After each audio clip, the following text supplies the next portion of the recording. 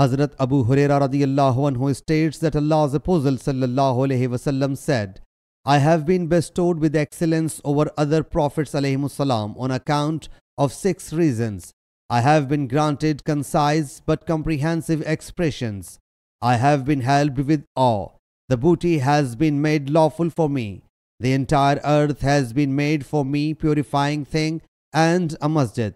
I have been commissioned to all creatures, and the prophethood has been terminated by me.